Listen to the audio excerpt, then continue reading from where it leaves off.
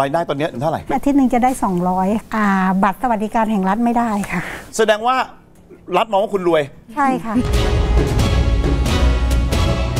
นี้เนี่ยเขาก็จะมีการเช็คว่าภาพยนตร์ในแต่ละเรื่องเนี่ยมีคุณสมบัติมากพอที่จะเข้าชิงรางวัลสุพรรณหงส์หรือเปล่า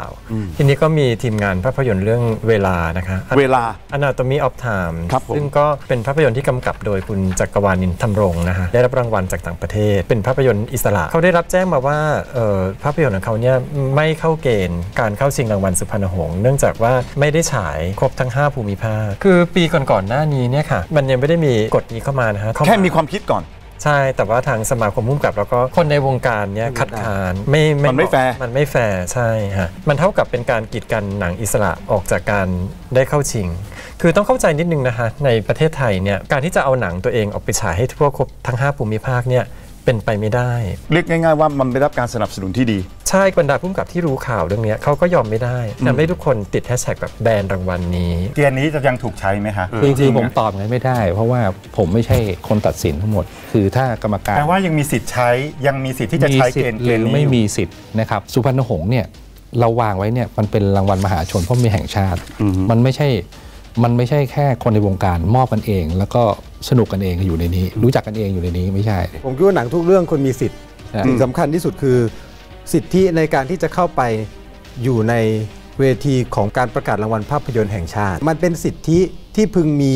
ของการเป็นสมาชิกในอุตสาหกรรมภาพยนตร์ คนในอุตสาหกรรมนี้ทำงานอย่างหนักมาก ไม่มีรัฐ support ไม่มีคนดูแลน้อยมาก ๆ จริง ๆ ถ้าเรารู้สึกว่าคนใดคนหนึ่ง ไม่ควรจะได้รับการ support ทางกำลังใจแบบนี้ ไม่ควรจะได้รับการ support ทางพื้นที่ในการมองเห็นแบบนี้ ผมก็รู้สึกว่ามันก็มันก็ไม่ควรจะใช้คำว่ารางวัลภาพยนตร์แห่งชาติ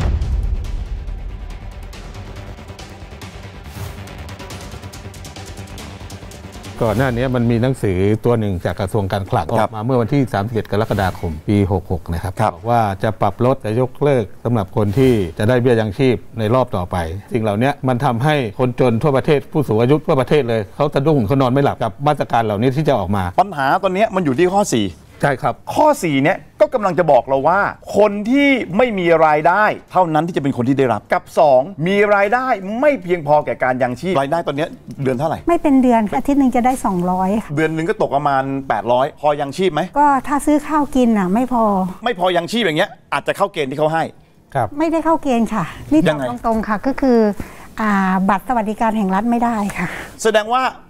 รัฐมองว่าคุณรวยใช่ค่ะ ตัวเนี้ยคือต้องตอบคำถามไม่ได้ว่าถ้าคุณตัดเข้าไปเนี่ยคุณใช้หลักเกณฑ์อะไร ถ้าบอกว่าถ้าไม่เอาหลักเกณฑ์ของบัตรคนจน คุณจะเอาหลักอะไร เพราะว่าเหมือนเรามองว่าเหมือนเราโดนถูกหลอกอะให้ไปลงทะเบียนบัตรคนจนอะกระทรวงมหาดไทยเนี่ยได้มีการปรับปรุงแก้ไขกฎหมาย เพื่อให้สอดคล้องกับรัฐธรรมนูญ ซึ่งกำหนดไว้ว่าบุคคลที่อายุเกินกว่า 60 ปีนะคะไม่มีไรายได้เพียงพอแก่การยังชีพนะคะมีสิทธิ์ที่จะได้รับความช่วยเหลือดูแลจากรัฐอย่างเหมาะสม ผมเข้าใจความรู้สึกของพี่น้องประชาชนเป็นอย่างดีท่านอาจจะกังวลในหลักการตรงเนี้ย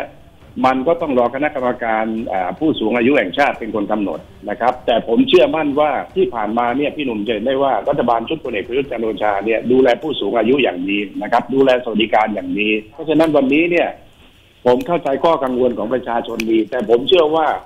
ทุกอย่างมันจะดีกว่าเดิมอีกคุณหนุ่มคะเราเห็นประเด็นหนึ่งค่ะ เขาเทียบกันก็คือสวหรือสสไม่รู้แหละเขากินข้าวมื้อหนึ่งเขาแปดร้อยสามสิบมื้อเดียว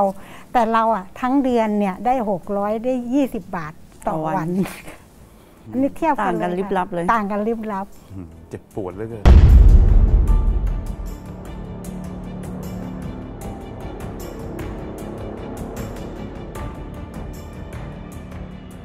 อแบมให้ปากคำว่าผมเห็นลุงพลนะฮะอยู่ที่ป่ายาง ซึ่งเป็นทางเชื่อมต่อลงมาจากเขา ซึ่งเป็นเวลาที่เด็กหายไป ผมพบเขาอะเจอเขา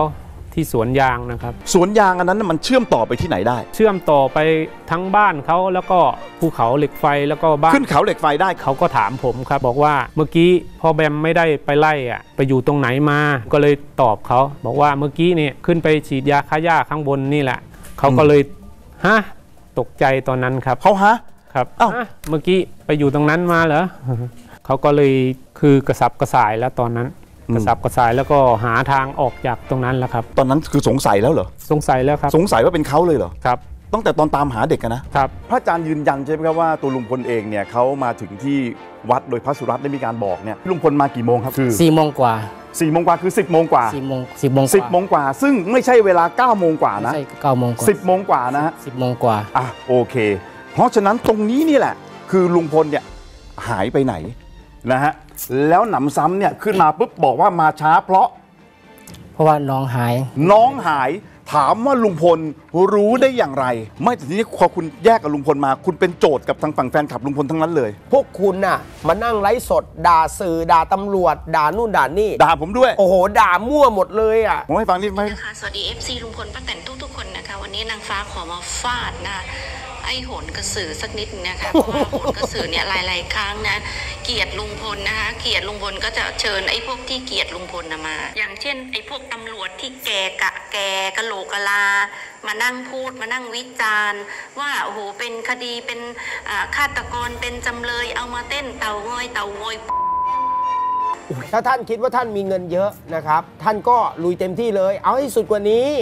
นะครับ มันยังไม่ถึงศาลเลย ต้องขอเตือนนะครับ ข้างในไม่สวยหรู ถ้ามันสวยหรูจริง ผมคงไม่ออกมา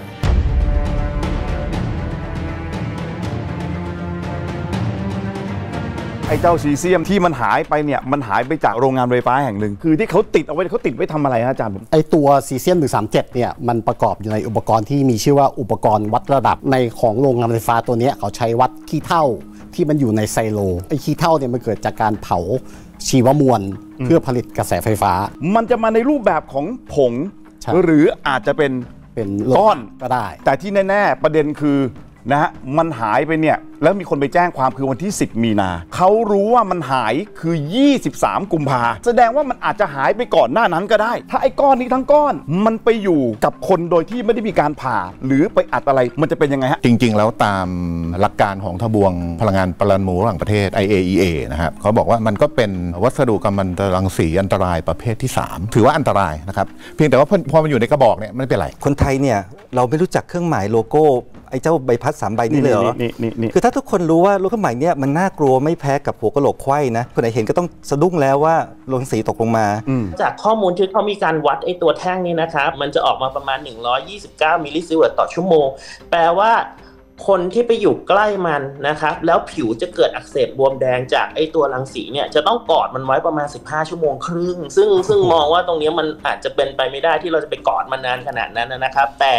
อย่างไรก็ตามไม่ได้แปลว่ามันปลอดภัยร้อยเปอร์เซ็นต์นะครับจะทำยังไงต่อไปฮะกับ24 ตันนี้ฮะเราจะจัดเก็บไว้ในพื้นที่นะครับในโรงจัดเก็บฝุ่นโลหะ หรือฝุ่นแดงนะครับของทางโรงงานไว้ก่อนนะครับ เพื่อที่จะเตรียมการในการที่จะจัดการบริเวณพื้นที่ตรงนี้นะครับ ยังไม่มีระดับรังสีสูง หรือเกิดการปนเปื้อนทางรังสีครับรู้ข่าวว่ามีการหายเกิดขึ้นเนี่ยผมไม่ได้มองว่าเป็นของหายเลยนะ ผมมองว่านี่คือวิกฤตนิวเคลียร์แห่งชาติ นี่คืออุบัติเหตุนิวเคลียร์ครั้งใหญ่ที่เกิดขึ้นผมนึกภาพว่าจะมีการตั้งคณะกรรมการขึ้นมาตั้งชุดทำงาน จะมีนายกรัฐมนตรีเป็นประธานด้วยซ้ำเพราะมันเป็นเรื่องใหญ่ แต่สุดท้ายเราไม่เห็นความคืบหน้า เราเห็นสเกลของการจัดการเล็กมาก เราเห็นความไม่พูดตรงๆนะครับไม่เป็นไม่เป็นมืออาชีพอะในหลายๆอย่างที่ชาวบ้านเขาคาดหวังจะได้เห็นนะแล้วที่ครั้งเนี้ยมันยังพอพอทุเลาเพราะมันไม่ได้ใหญ่โตมาก แล้วครั้งหน้าล่ะมันจะใหญ่กว่านี้หรือเปล่า เพราะฉะนั้นคือต้องต้องเป็นการถอดบทเรียนแล้ว